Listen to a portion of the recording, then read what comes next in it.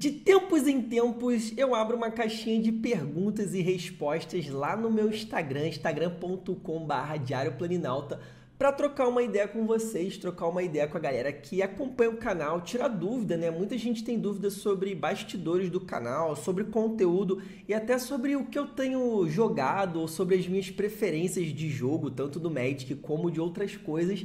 E no último final de semana eu abri uma caixinha de perguntas para interagir com vocês lá no Instagram e, cara, teve uma enxurrada de perguntas. Eu fiquei muito surpreso. Então eu decidi responder algumas perguntas direto nos meus stories e outras eu separei especialmente para responder para vocês. Desde já, eu já vou agradecendo muito a todo mundo que estiver assistindo esse vídeo, porque eu imagino que, por não ser um vídeo de notícia, de review ou nada muito relacionado com Magic, mas muito mais ao meu trabalho e à minha pessoa, eu imagino que quem está assistindo esse vídeo é porque realmente gosta de mim, gosta do meu trabalho. Então, queria te agradecer demais, demais por isso, porque você, com certeza, é um dos motivos para eu estar continuando o meu trabalho, para eu ter essa motivação aí de continuar. Falando sobre motivação, eu vou falar sobre um pouco sobre esse assunto, mas esse ano tem sido um ano muito difícil para mim, tá, gente? Um ano de altos e baixos muito grande, sabe? Tá sendo uma, uma montanha russa, cara, louca. Inclusive, eu resolvi colocar essa camisa para fazer esse vídeo, porque é algo, uma lembrança muito significativa da parte boa do meu ano, que inclusive, muito provavelmente, muitos de vocês que estão assistindo ajudaram isso aqui a se tornar realidade, me ajudaram a realizar esse grande sonho que foi fazer a cobertura da Magic Con, né? E, cara, eu espero poder é, trazer muito mais desse tipo de conteúdo para vocês. Eu espero que próximo ano, os próximos anos, tenham muitas, muitas coisas legais. Como eu falei, vou abordar sobre isso, porque tem perguntas sobre isso, mas desde, mais, desde já, né, eu gostaria de sempre pedir para vocês, né, é, esse apoio de vocês, lembrar para vocês que esse apoio de vocês é muito importante e, obviamente, reforçar esse pedido é, para a galera que apoia o canal. E lembrando que é, existem vários tipos de apoio, né? Não só o apoio financeiro lá no apoia.se barra Diário Planinalto, onde você ajuda que o canal crescer cada vez mais, trazer conteúdo de qualidade para vocês e ainda ganham diversas recompensas, né? Mas também aquele apoio simples, né? Que não custa nenhum dinheiro, mas o apoio de se inscrever no canal, ativar o sininho, que é muito importante, dar like nos vídeos, acompanhar o canal nas outras redes sociais. Eu também tô lá no Instagram e no TikTok produzindo conteúdo exclusivo para essas duas redes também. E como sempre, compartilhar, né? Porque uma andorinha só não faz verão. Então, quando vocês me ajudam compartilhando os vídeos, compartilhando o meu perfil, meu conteúdo, outras pessoas chegam no canal, acabam curtindo, acabam, cara, é, de repente se beneficiando de algumas informações que temos aqui, como os guias de pré-release, por exemplo, e aí vão passando para outras e outras pessoas. E quem sabe em breve a gente atinge aí um grande número de seguidores, que é o meu grande objetivo aqui, quem sabe. Né? Eu sei que pra agora tá muito difícil mas quem sabe para que daqui a alguns anos a gente não bate a marca aí tão sonhada de quase todo criador de conteúdo do YouTube começa a fazer, que é a marca de 100 mil inscritos, onde a gente ganha a primeira plaquinha do canal, né? Quem sabe a gente chega nessa marca. Conto muito com vocês e eu só dependo de vocês para isso. Obviamente que eu dependo muito do meu trabalho também e eu tô tentando fazer a minha parte. Esse mês, agora em setembro, se tudo der certo, a gente vai ter muito conteúdo aqui no canal e conteúdos diferentes também, assim como esse, para me aproximar mais de vocês. É, continuar presente na vida da galera que acompanha meu trabalho e me aproximar ainda mais da vida da galera que está chegando agora acompanhando meu, meu trabalho há pouco tempo, beleza? Então vamos lá, vamos para as perguntas que assim, tem algumas perguntas bem polêmicas aqui, tá galera? Inclusive eu vou começar com uma pergunta polêmica. Duas pessoas tocaram nesse assunto, que foi a Aline, uma grande amiga que já trabalhou comigo, e o Vili, que viajou para Magic com Amsterdã. Eles perguntaram sobre Magic Spotlight, né? Qual que é a minha opinião sobre isso? O Vili até perguntou se eu acho que esses eventos vêm para o Brasil. Bem, vamos começar é, falando a verdade. Eu ia gravar um vídeo sobre isso mês passado para vocês. Eu assisti a live da Wizards, é, cara, falando sobre esse novo evento e eu fiquei transtornado, transtornado. Eu cheguei a mandar algumas mensagens no chat né? Falando é, o absurdo, né? A expressão da minha é, incredulidade com o tipo de anúncio que eles estavam fazendo e, e deixando a América Latina completamente de fora, né? Para quem não sabe, o Magic Spotlight foi anunciado, né? Recentemente, é, onde ano que vem teremos alguns eventos ao redor do mundo, né? Serão cinco nos Estados Unidos, dois na Europa e um no Japão, onde eles vão ser alguma coisa parecida com os Grand Prix que a gente tinha antigamente. Eles vão ser de formatos variados, vão trazer algumas cartinhas promos, vão trazer algum um prêmio em dinheiro rele, é, relevante e acesso aos maiores torneios, né? Aos, aos, aos Pro Tours, etc, etc. E a gente foi completamente deixado de lado aqui no Brasil. É, eu honestamente não tenho muita esperança de que exista uma Magic Con aqui na América Latina, no Brasil, porque é algo muito grandioso pelo que eu pude, né, viver e experi experienciar, não sei se essa palavra tá certa, mas o que eu pude viver recentemente, eu vi que a Magic Con é algo realmente muito, muito grandioso, mas o GP, né, que é o Grand Prix, ou a, a antiga Magic Fest, esse Magic Spotlight, cara, seria algo completamente, assim, tranquilo de se trazer para o Brasil e seria até uma, um novo respiro na comunidade após tantas, né, tantas é, pancadas que a gente sofreu da Wizards nos últimos tempos. É, mas eles não anunciaram que isso vai ter. Agora, sobre a minha esperança, eu tô muito chateado por não terem falado nada, né? Eu achei o anúncio horrível, a forma como eles apresentaram pro público. Fiquei muito chateado por não falarem nada sobre o, o a, a, Latam, mas eu acredito que para 2016 é, seja possível sim a Wizards expandir. Talvez eles estejam fazendo alguns testes, mas pensando realmente mais lá para frente. O que me incomoda é que eles provavelmente já têm isso em mente, já têm isso no planejamento e eles simplesmente não deixarem, não fazerem um, um anúncio um pouco maior, um pouco melhor para dar essa esperança pra gente. Era muito melhor viver com essa esperança, né? Enfim, é, talvez algumas pessoas tenham uma opinião contrária, mas eu preferiria viver com essa esperança de que em 2016 talvez tenha um evento aqui no Brasil, né? É, do que viver essa amargura de que, cara, ano que vem vamos ter esses eventos e eles simplesmente cagaram pra gente. Enfim, essa é a minha opinião. Passando pra frente, o Vic perguntou aí pra mim, ó.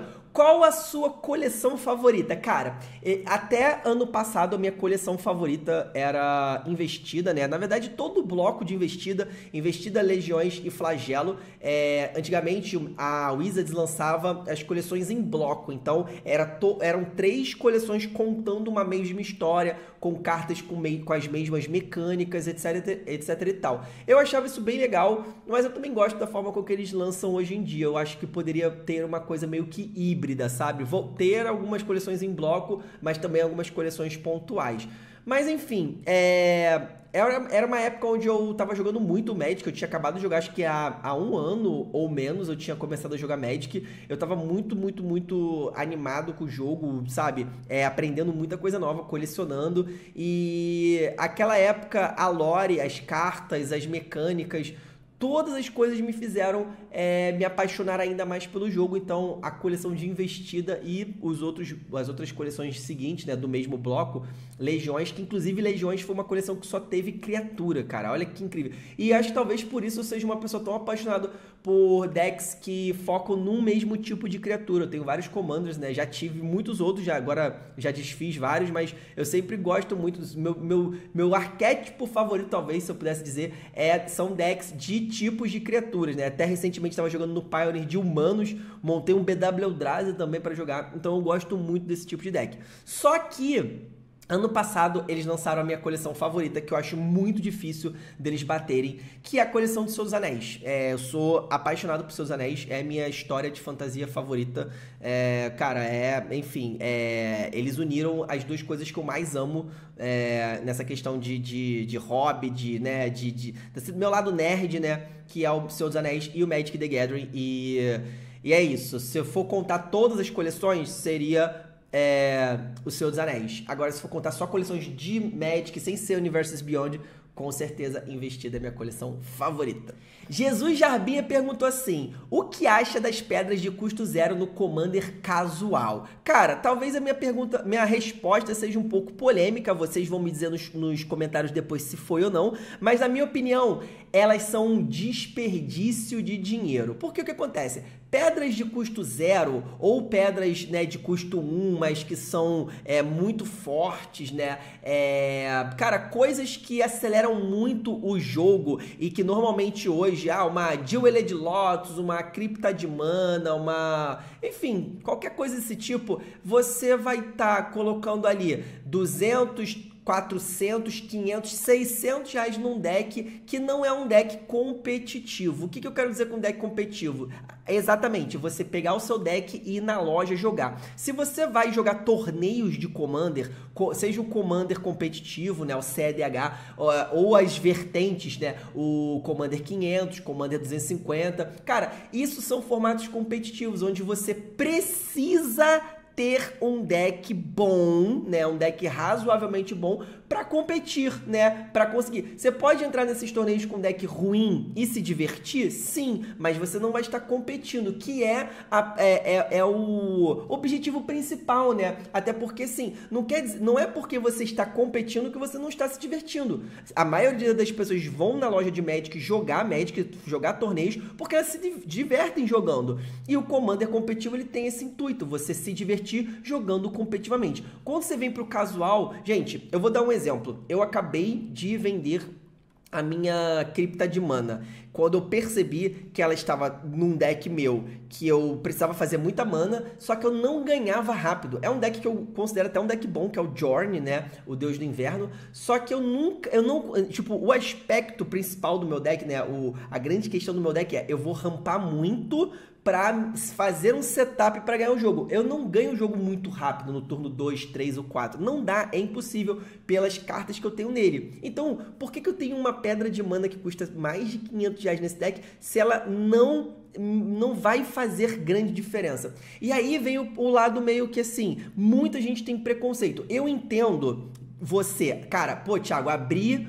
uma Jeweled Lotus num booster e botei no meu deck que é Power Level 7, sabe? E aí, você às vezes faz o seu comandante no turno 2, seu comandante que custa 4 manas, você faz ele no turno 2, sabe? É, ou um comandante que custa mais no, custo 3, no turno 3, e a galera fica desesperada. Mas o, o fato de você fazer o seu comandante rápido não quer dizer que você vai ganhar o jogo rápido. E isso traz um aspecto muito problemático pra mesa. Quando você joga com pessoas que você não conhece, obviamente elas vão te focar. Então, minha opinião é, cara, eu não julgo um deck, se a pessoa fala, cara, meu deck é casual, tem umas cartas muito caras aqui, tem carta de mil reais, mas não quer dizer que meu deck é competitivo. Ele só é um deck casual com carta muito cara beleza, vamos jogar de boa, vamos se divertir. Agora, se eu perceber que ele tá mentindo, obviamente, ele vai ser a pessoa focada para sempre em todas as mesas que eu jogar. Agora, é, se você, enfim, tá com essa pedra de mana aí, ou tá pensando em comprar, adquirir uma pedra de mana muito cara para botar no deck casual, cara, repense. Primeiro porque você não vai estar tá mais próximo do seu objetivo com essa carta, ela vai ser muito mais,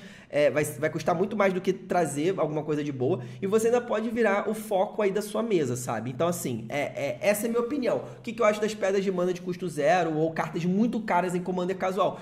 Se você abriu no booster, cara, acho que não, tem por que não botar se você quer botar e tá tudo bem. Isso não quer dizer que o seu deck vai ficar mais forte. É, quer dizer, não absurdamente mais forte.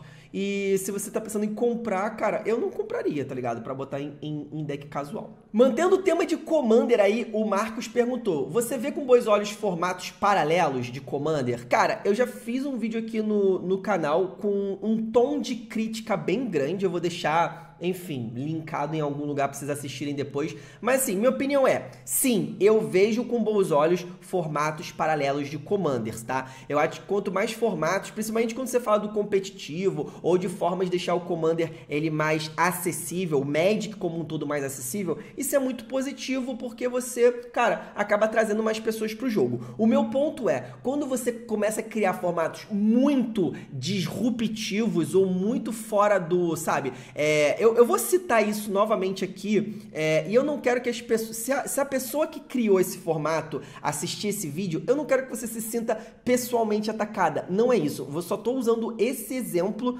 porque eu acho particularmente que. E eu sei que vai vir, tipo, mano, vai vir as 10 pessoas que jogam esse formato no mundo todo defendê-lo. Mas, cara, para mim, por exemplo, eu ouvi falar que criaram um formato que é o Commander 2,7%. O que é o Commander 2,7%? Nem sei se esse é um número de, né, real, tá, gente? Mas a galera que falou que é um, é um Commander baseado numa porcentagem do salário mínimo. Mano, não faz sentido. Assim, na minha cabeça, tá? Não faz sentido. Se você já criou o Commander, é, o, o Pauper Commander, que ah, não vale carta rara, é, nem. nem, nem Pauper Commander só vale carta comum. O Rareless Commander não vale carta rara. O Commander de 10 reais. O Commander de 50 reais. Mano, você já tem uns formatos já, cara, muito, muito assim, entre aspas, bonitinhos ali, cara, sabe?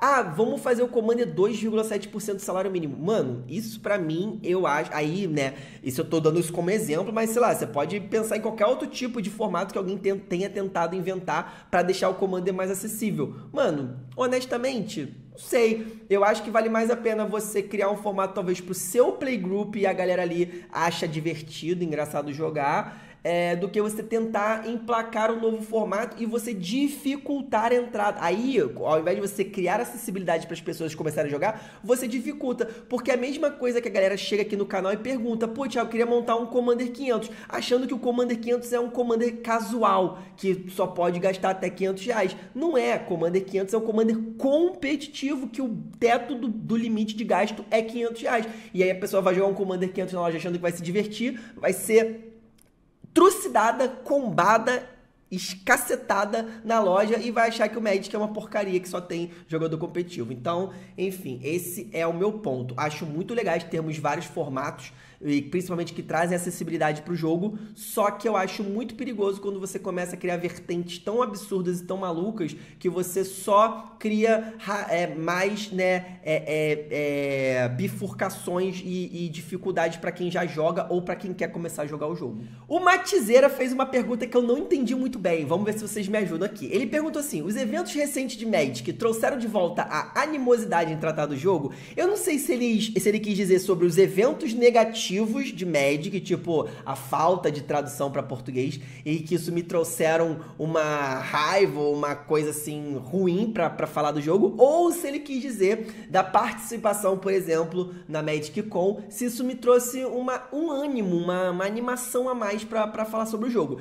Eu vou responder os dois aspectos, cara. Sim, é, as últimas coisas que aconteceram né, no Magic, como a falta do Magic em português, essa questão do anúncio do, do Spotlight não ter falado sobre a Latam, nenhuma expectativa para trazer isso para a Latam, isso sempre me desanima muito com o Magic, obviamente, isso sempre me desanima e eu sempre vou falar, sabe, sempre vou, é, é, cara, ser muito honesto, muito sincero com vocês a respeito do meu desânimo com o jogo, tá?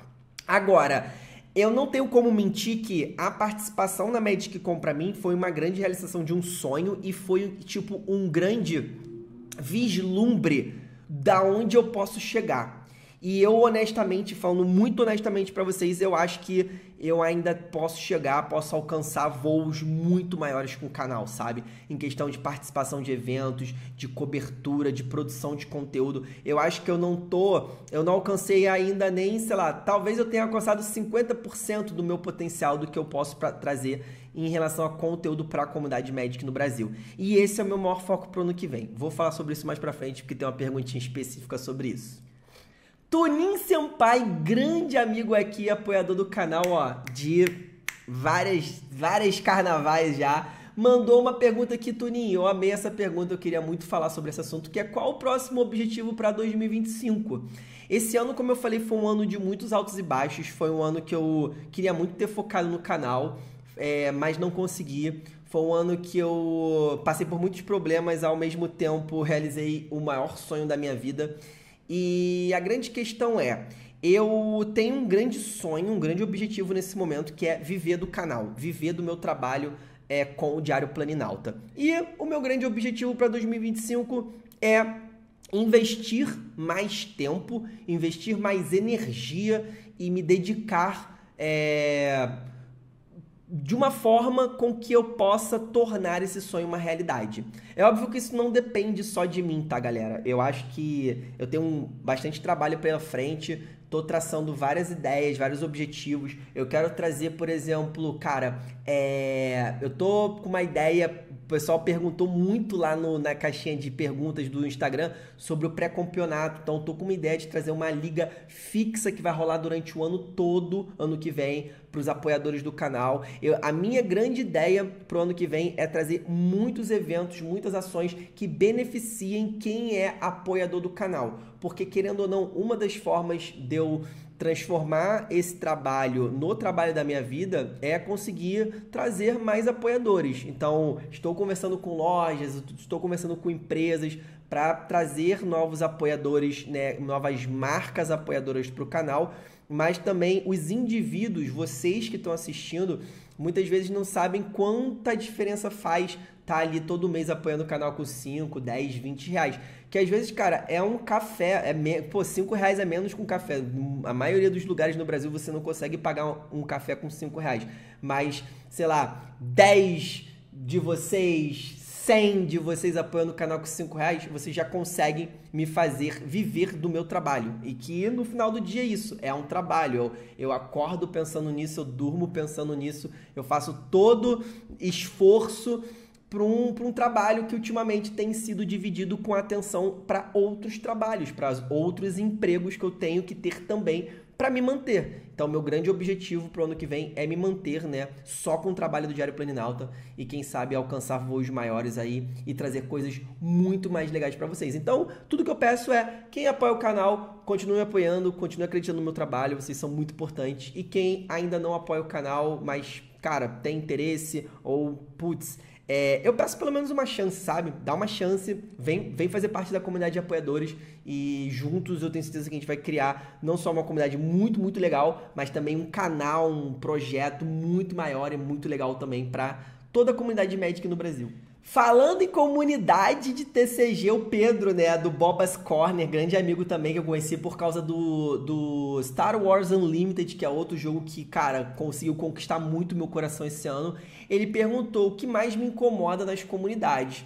Cara, para mim, assim, eu sempre falo sobre isso. O que mais me incomoda é, em, nas comunidades de, de card game é tratar o jogo como investimento, né? As pessoas querem sempre lucrar, então a gente vê, cara, a gente tem visto muito isso, principalmente nos jogos recentes que vieram pro Brasil, que tem uma escassez, né, muito grande, né? Uma alta demanda de jogadores querendo produto, mas uma escassez por parte das distribuidoras. E aí você vai ter gente dando buyout em material selado, querendo vender por pelo dobro do preço, dando buyout em single. Isso é um absurdo, sabe? É... E, cara, são pessoas que, mano, têm seus empregos, ou, ou são filhinhos de papai, ou, ou pessoas que não fazem absolutamente nada da vida, é, vivem às custas dos pais e, e. ou já têm seus empregos e ganham seu dinheiro e querem querem fingir que são grandes lobos de Wall Street, dos merc do mercado das estampas ilustradas. Isso para mim, cara, é um bagulho que me corrói os nervos, sabe?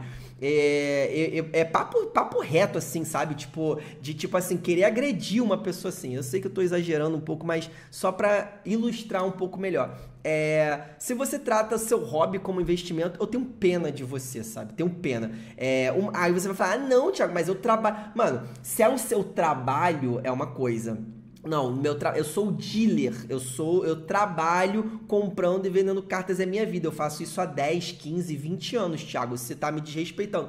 Não estou falando sobre você. Você sabe que eu não estou falando sobre você. Eu estou falando do Zé Pirralho, tá ligado? Que é filho de papai ou tem um emprego bom porque é filho de papai. Eu não, eu não conheço um, um, um, ferrado da vida, sabe? Um maluco que saiu ali da, da, pô, sei lá, da favela e aí começou a jogar e falou: putz, tá, vou investir 5 mil reais aqui nesse mando de papelão porque eu vou tirar tudo do mercado e vender pelo dobro do preço. Você não vê ninguém assim. É tudo um bando de filho de papai que teve vida boa, fácil e aí quer aproveitar em cima do hobby dos outros. Eu acho isso deplorável, deprimente, para mim é a pior coisa nas comunidades de TCG. Ó, eu falei sobre apoiar o canal e o Igor Queiroz mandou uma, uma pergunta muito né, é, é boa nesse sentido. Ele perguntou qual o benefício de ser apoiador do canal. Cara, eu resumi aqui os benefícios em. Assim, existem vários benefícios, mas eu resumi alguns aqui que eu acho que o principal, que seria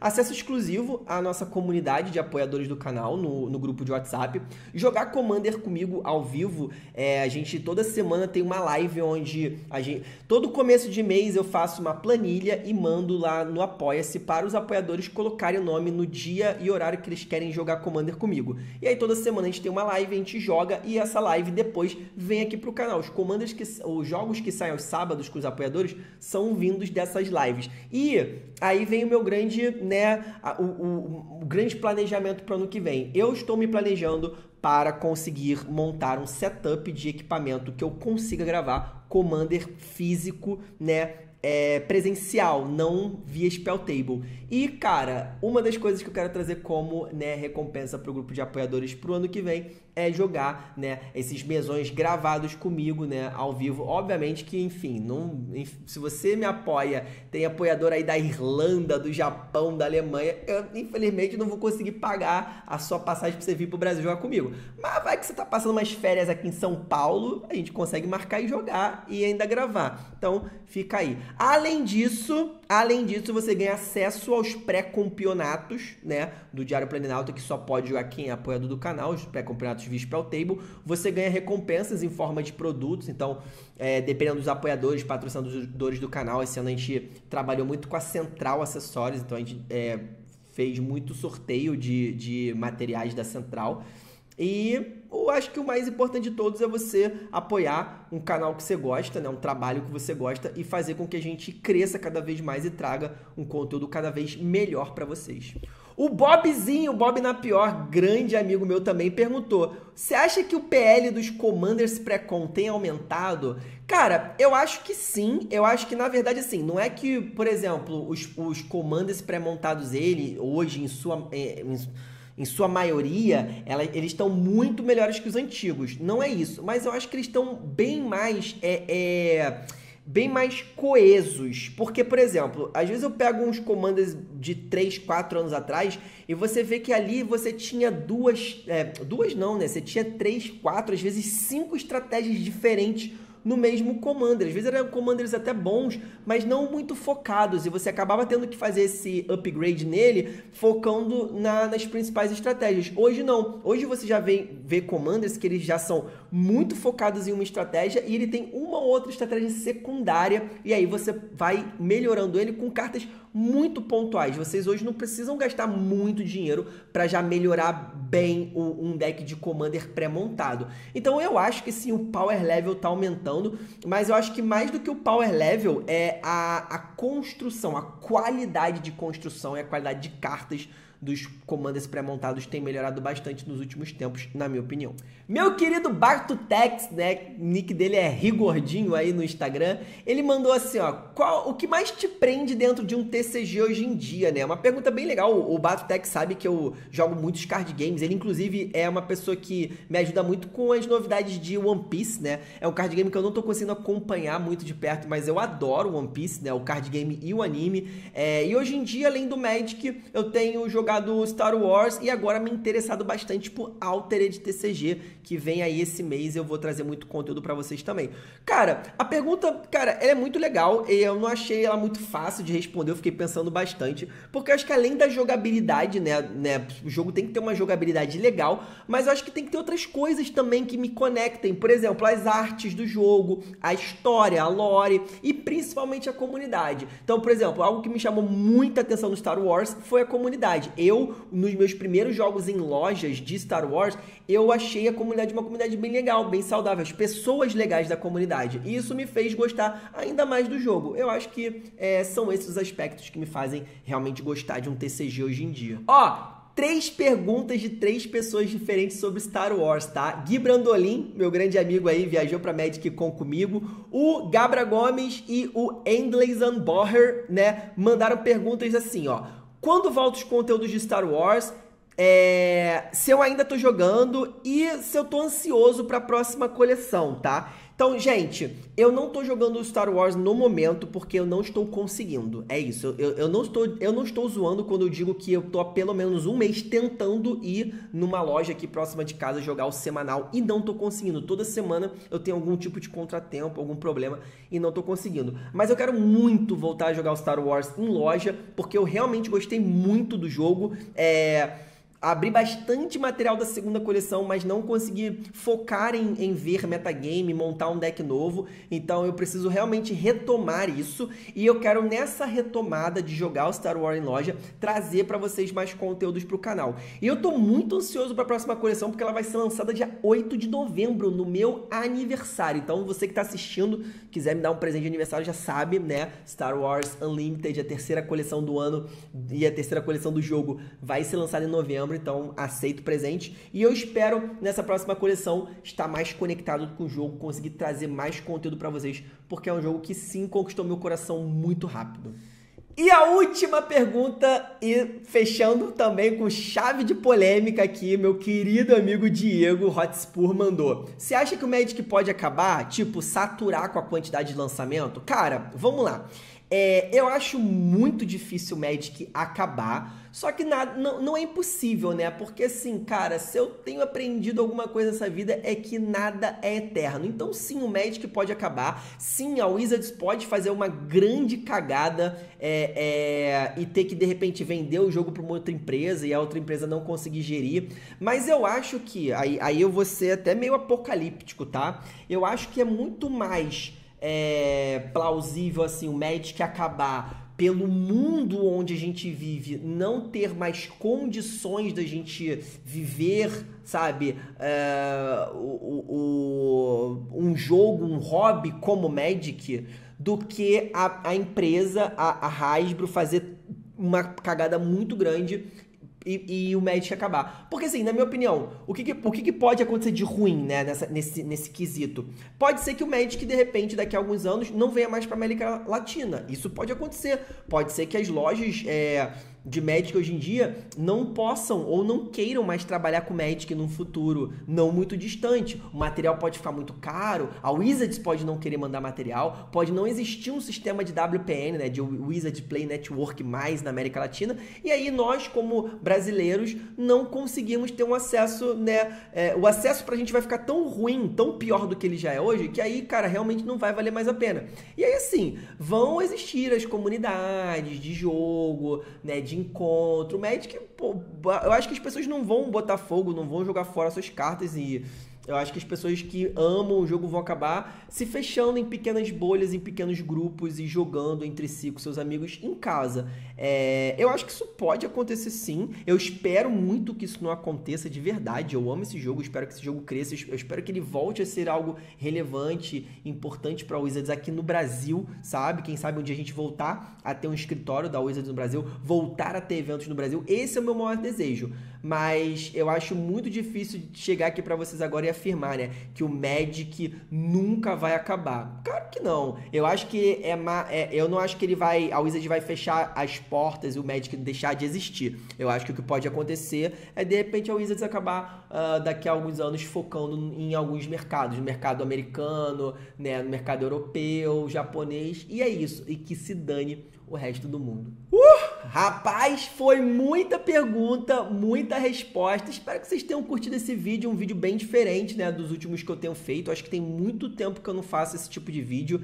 É, fica aí como um vídeo, de repente, de uma virada de página aqui no canal. Acho que esse mês, agora em setembro, vai ser um mês é, de muitas coisas acontecendo e de um novo foco, de uma nova mentalidade por minha parte. Como eu falei para vocês, eu tenho um grande sonho. É, esse sonho é viver do canal e eu agora esse final de ano, setembro, outubro, novembro, dezembro, eu quero pavimentar um caminho aqui de trabalho para que 2025 seja um ano que eu traga para vocês muito foco nesse projeto e que se tudo der certo, ele cresça bastante e ele se torne o principal projeto aí da minha vida e, eh, enfim, meu principal trabalho, como eu tanto sonho. Espero que vocês tenham curtido. Se vocês quiserem que eu responda algumas outras perguntas, cara, fica ligado no meu Instagram, vira e mexe, eu abro caixinha de pergunta lá, então segue a gente lá. É outro grande objetivo, né? Tô produzindo conteúdo exclusivo pro Instagram. Meu grande objetivo agora é bater 10 mil seguidores lá. A gente acabou de bater 5 mil, então agradeço todo mundo que seguiu meu, minha página no Instagram recentemente. Então sigam lá, abro caixinha de pergunta, interajo com vocês bastante. Tem conteúdo exclusivo pro Instagram, não deem bobeira, me ajudem. Muito obrigado, deixe like, comentário, se inscreve no canal e a gente se vê no próximo vídeo. Um grande beijo no coração de todos vocês e até a próxima. Valeu!